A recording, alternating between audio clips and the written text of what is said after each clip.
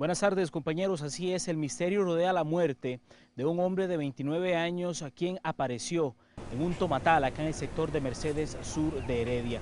Los propietarios de esta finca llegaron anoche luego de ser avisados por parte del cuidador, quien apenas tiene ocho días de laborar para ellos, de la aparición del cuerpo.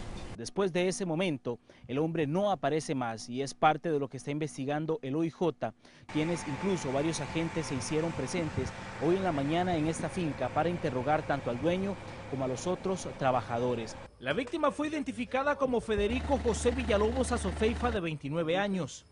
Villalobos apareció dentro de un galerón en la finca ubicada en Mercedes Sur de Heredia. Quien descubrió el cuerpo fue don Walter, dueño del cultivo. ¿Y les indicaron ayer? Dice que el carajo que se la llamaba dijo que aquí había un muerto. ¿Entiendes? Eso fue todo que, que, lo que me dijo mi hermano. ¿eh? Entonces lo venía para acá a ver y resulta que aquí le encontramos un poco de carajo ahí, le preguntamos y no sabían nada. Y entonces fuimos adentro a ver cómo está la cosa, todo está normal. Cuando vimos la, la, la galera con llave y ya no, yo la abrí. Estamos de sorpresa ahí.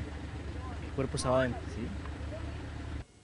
¿Esa galera ustedes la manejan siempre con llave? No, hay vías y muchachos, hay vías muchachos, pero nosotros tenemos una llave siempre, porque ahí como guardan veneno, como guardan veneno y bombas, ¿verdad? La llamada la realizó su peón, quien recién contrató hace ocho días. ¿Tiene idea, señor, cómo fue que, que él entró ahí? ¿Cómo llegó hasta acá? No tengo idea, no tengo idea.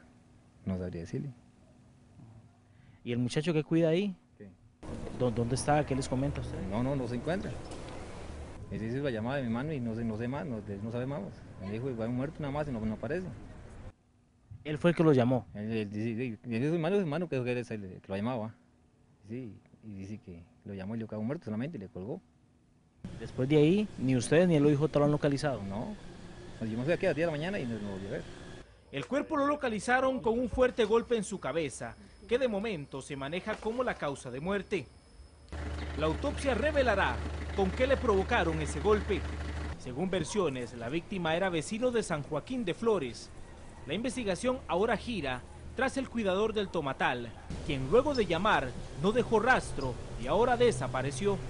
Mientras los agentes judiciales intentan localizar a este cuidador de la finca, tratan de recolectar la mayor cantidad de indicios a lo largo de este terreno para determinar si existe alguna prueba o alguna evidencia que permita resolver este caso. Desde Mercedes Sur de Heredia es el reporte de Gustavo Díaz para Noticias Repretel.